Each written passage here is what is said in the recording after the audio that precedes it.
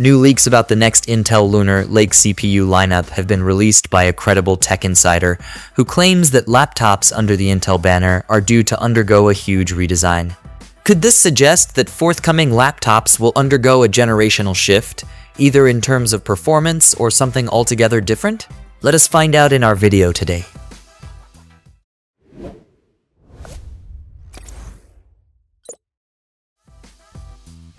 With a whisper of having a downright 50% performance boost over the previous generation Meteor Lake mobile processors.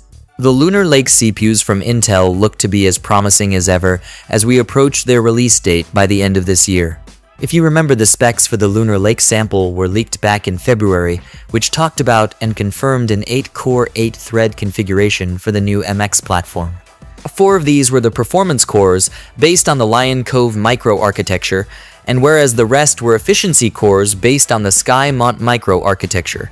Now, the new Lunar Lake MX processors for good reason are expected to utilize Battlemage Xe2 LPG GPU cores, which will increase the overall performance on low-power laptops.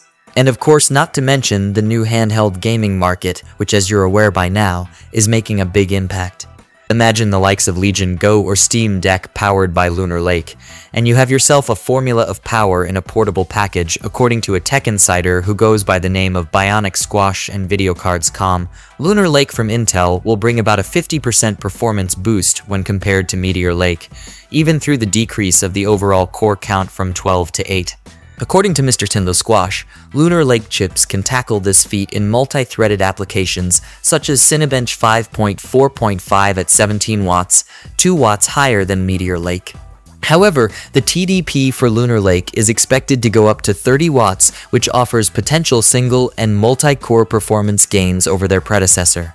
If this leak comes to fruition, we can also expect 8 watts fan less power designs for Lunar Lake, which will likely be used in those ultra-thin laptops that are ideal for lightweight work such as browsing, school projects, social media browsing, or just consuming content in general. Now, with the idea that everything tastes better with a grain of salt, Intel did not yet confirm nor deny any of these. However, Mr. C. Squash's claim reinforces the previous leaks we had regarding this CPU and goes to show how the performance uplift on Lunar Lake will be a promising take for gaming on low-powered devices as well. Speaking of, don't get your hopes up too high as for people who use their laptops primarily for gaming.